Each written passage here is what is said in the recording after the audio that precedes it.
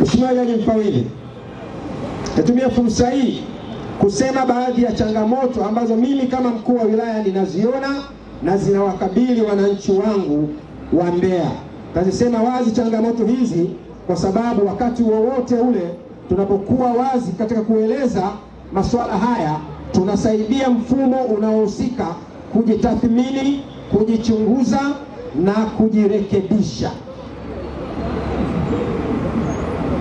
Hakika mfumo mzima wa utoaji haki unafanya kazi vizuri, lakini changamoto kubwa ambazo tunaziona bado zinatakiwa ziendelee kufanyiwa kazi ni utendaji kazi wa mabaraza ya ardhi.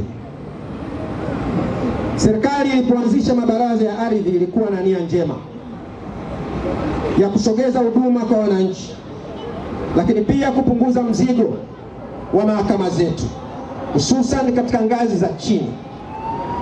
Lakini katika kipindi cha miaka miwili nilipokuwa ambapo nimekuwa mkuu wa wilaya hapa, nimegundua kwamba changamoto ipo kubwa sana kwenye kutoa haki kwenye ngazi za chini za mabaraza ya ardhi.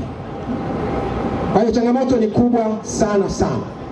Hakika ipo haja ya serikali kuangalia namna bora zaidi ya kuunda, kufanya kazi na kuyasimamia mabaraza haya na pengine pengine kuyavunja na kuyaunganisha na mfumo wa mahakama ili tuendelee kupata watu wenye weledi watakaosaidia kutoa haki kwa wananchi wetu. Mbeya oye!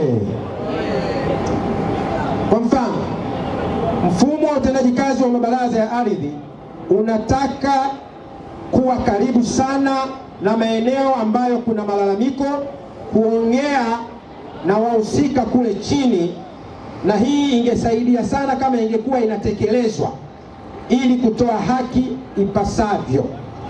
Mnapokea malalamiko mengi ya mashauri ya ardhi kuamuliwa bila ya wanaotoa maamuzi hayo kufika kwenye maeneo na matukio husika ili kuhakikisha kwamba haki inatendeka. Na kwa maana hiyo basi, kama tunataka kuonyesha namna ya utawala bora ulivyo, ni lazima tutoe haki kwa usawa na kwa mujibu wa utaratibu.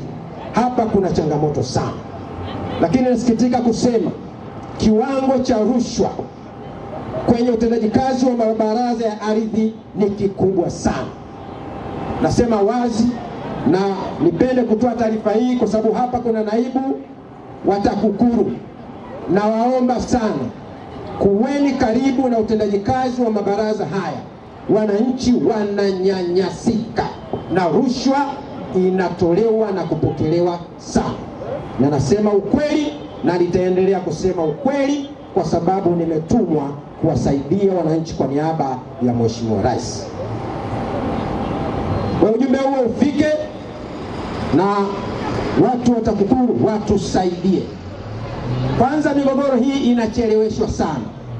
Pili, wananchi wanatumia nguvu kubwa sana kutafuta haki zao, wananyanyasika.